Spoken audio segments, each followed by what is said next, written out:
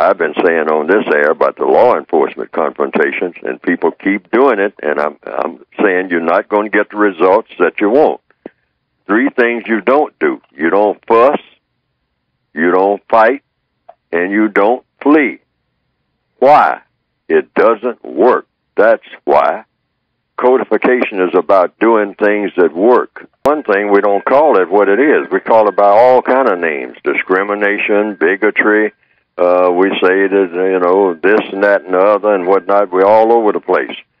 We say the main problem, and you can't solve any problem without solving this problem, is the system of white supremacy. You put that in capital letters.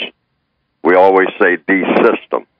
See, that's like saying justice and not giving it a definition. Yes, sir. See, we keep calling words. We throw words out here about a bucket's full, and the words don't have definitions. So we come away from marches and uh, and and demonstrations. We come away from meetings, and we we don't you know we're baffled. Why wasn't the meeting successful? So they say, well, the meeting was successful because there was a lot of people there. Say, wait a minute. Does is that what makes a meeting successful? What did you have the meeting for? Well, we had the meeting for you know black people coming together and and solving black people's problems. Okay, well, did you at that meeting solve black people's problems?